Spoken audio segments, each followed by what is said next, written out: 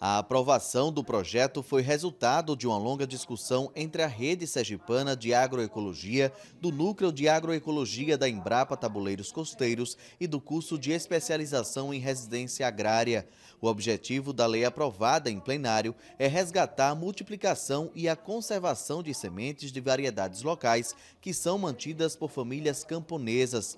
A deputada fez um apelo ao governador Jackson Barreto para que sancione a lei o mais rápido possível possível, pois a semente crioula deve ser prioridade em Sergipe. É uma expectativa de todos os pequenos produtores que acreditam na semente crioula, que são guardiões da semente crioula e que é importante exatamente para o equilíbrio da nossa biodiversidade. A semente crioula é a semente nativa, é a semente que vem ah, nas várias gerações sendo conservadas e que não passaram por nenhuma modificação genética. Né? E aí você tem aqui em Sergipe, como no Nordeste é muito forte, você tem famílias de tradição de conservar a semente crioula com diversidades, né? Por exemplo, você tem famílias em Simão Dias que conservam mais de 10 tipos de semente crioula do milho, entendeu?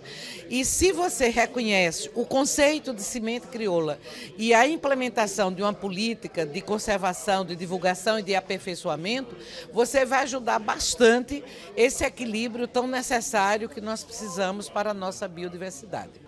A deputada ainda fez um relato sobre a audiência pública realizada na última terça-feira na sala das comissões sobre a economia solidária ela disse que é preciso dialogar com quem vive da reciclagem. É uma área que, pela, pela narrativa, pelo discurso de cada catador, o que é que eles sentem? Né? Os recursos que chegam para essa área ficam muito na atividade fim, principalmente capacitação, e não chega na atividade meio, que são os instrumentos de trabalho dele, que são os galpões que eles precisam para fazer exatamente o processo né, de separação para que se dê a reciclagem. Então, é, a casa, o papel do parlamentar não é gerar conflito, é mediar para buscar soluções.